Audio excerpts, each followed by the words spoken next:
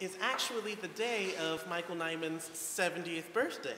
So maybe just to get things going, we could get a giant happy birthday, Michael Nyman. You ready? One, two, three. Happy, happy birthday, Michael Nyman. Nyman.